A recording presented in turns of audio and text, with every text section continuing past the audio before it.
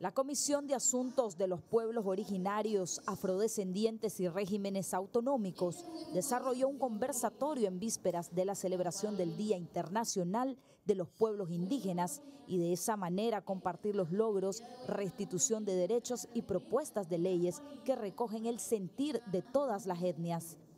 Todas las políticas y estrategias de nuestro gobierno lleva cosmovisión de los pueblos originarios y afrodescendientes. Está materializado lo que es nuestra constitución política de 1987, donde por primera vez se visibiliza y se restituyen los derechos de los pueblos originarios.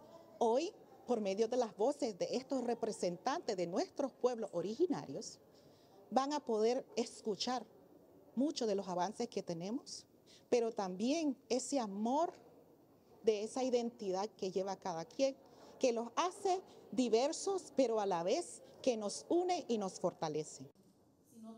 En este encuentro realizado en la Asamblea Nacional participaron representantes de los consejos regionales de la costa caribe norte y sur, líderes comunitarios y diputados de otras comisiones parlamentarias.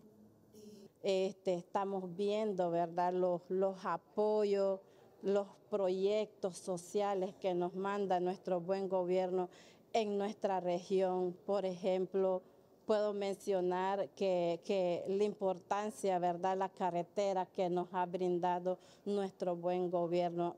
Por ejemplo, la educación gratuita, la, salud gratuita que nos da, la educación en el campo, la universidad en el campo, mi hospital en mi comunidad, todo ese privilegio que tenemos en, en los años anteriores, nosotros no mirábamos esas cosas.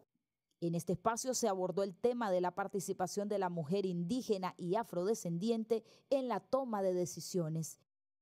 Estamos en todo, porque somos este, líderes, somos profesionales en la educación, en la salud, ah, en diferentes áreas, pero ahí estamos siempre. El próximo 9 de agosto se celebra el Día Internacional de los Pueblos Indígenas, proclamado por los países para proteger los derechos de los pueblos indígenas, su cultura y sus formas de vida. Dariela Falcón, Multinoticias. Gracias por informarte con nosotros. Ahora te invitamos a suscribirte a nuestro canal y compartir nuestro contenido.